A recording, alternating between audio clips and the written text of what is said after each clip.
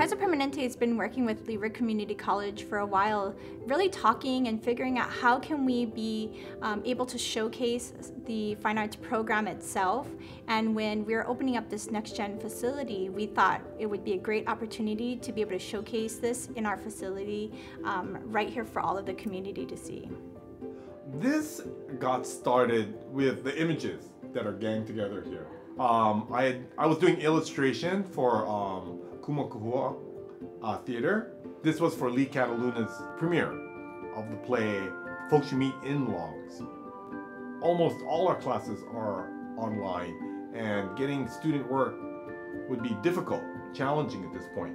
We decided the most efficient and probably the most appropriate thing at, at the moment would be to start with um, the faculty that's teaching at Leeward Community College. And so we're going to be going through all of our faculty. Each person will be showing their work. Uh, and it's representative of the range of working artists who are teaching at Leeward.